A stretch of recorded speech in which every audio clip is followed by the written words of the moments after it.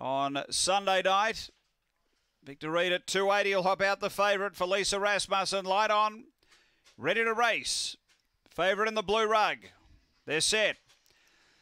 Racing. Oh, it got a bit of a tightening early. The favourite Victor Reed and Fire Strike out quickly. He's going to boot up and lead early. It ran up the track though, trying to dive underneath it. Victor Reed recovering and Crush Your Enemy got past it. Uh, then came Aston Cade and behind those Bassman, Lady Fernando, Golden Knight, and my name's Craig. But down the back, Fire Strike away. Out by three. Victor Reed doing the chasing. A couple away, Aston Cade and Crush Your Enemy on the turn. Fire Strike led from Victor Reed and Aston Cade. Fire Strike in front front hangs on.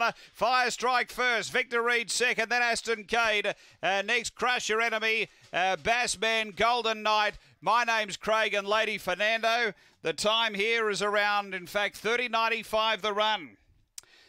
Number one, Fire Strike for Bosco Stamenkovic has been uh, too good here. Number one, it's one, four, eight, and three.